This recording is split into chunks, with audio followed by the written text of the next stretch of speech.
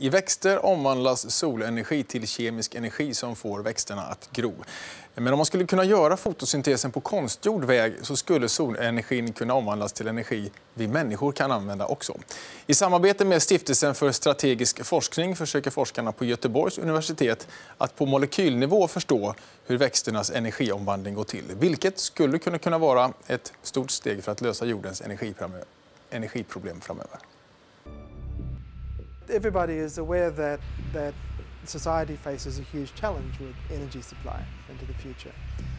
And we can't keep, we simply can't keep on going forever, burning coal and burning oil and, and, and living as we are. If we can get energy from sunlight in a very efficient and, and cheap way, then we can start to address some of the challenges that we face in terms of future energy supply. I naturen, i växternas gröna blad, går allt smidigt. Stora mängder solljus fångas upp i ett protein. Ljuset sätter elektroner i proteinet i rörelse och i slutändan bildas kemisk energi. What happens in plant leaves is how extremely efficient this process is. That almost every photon which is absorbed and converted into chemical energy is used very efficiently during this process. Värre ser det ut när vi människor försöker härma fotosyntesen för att göra billig energi. Vi kan visserligen tillverka kemiska molekyler som tar upp solljus och sätter elektroner i rörelse. Men ganska snart smiter många av elektronerna tillbaka. Bara några få blir kvar och bildar energi. Okay, but here got lots of Richard Neutze och hans forskarkollegor vill ta reda på vad som händer i det lilla, lilla proteinet. Och de vill kunna se i detalj.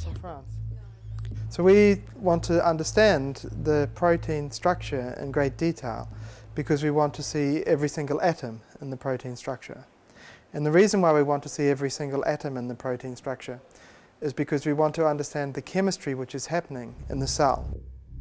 Och för att kunna titta på de här små, små proteinerna som bara är några nanometer långa behöver man bestråla dem med ljus som har väldigt kort våglängd, det vill säga röntgenvågor.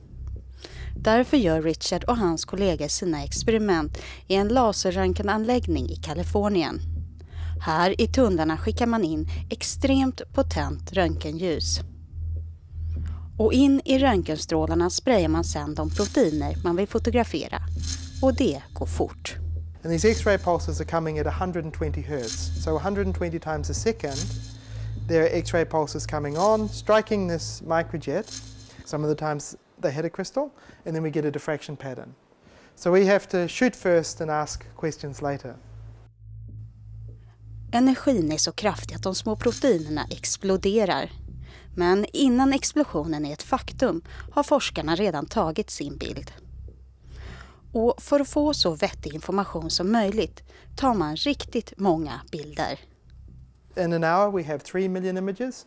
So in a day we maybe have 30 million images that we have to process through. And we look for those, of those million images, we look for those which are interesting. Maybe um, 10,000, maybe 100,000 of those images that contain information that's useful. Sen processas informationen från alla bilder och ur den datan kan man räkna ut proteinets struktur. Men för att ta reda på vad som händer i fotosyntesproteinet när solljuset faller på det räcker inte med en bild. Man vill ha en film för att kunna följa hela processen. Och det ska det bli så småningom. Men hittills har inte forskarna fått fram fler än några enstaka bilder. Men man har ändå teorier om varför proteinet är så bra på att hålla kvar elektronerna. Det handlar om att när ljuset träffar proteinerna så rör det sig på ett sådant sätt att det skapas barriärer och det gör att elektronerna inte kan komma tillbaka. So it x like a valve. So the electron can move one way but not the other way. And uh, this is called conformational gating.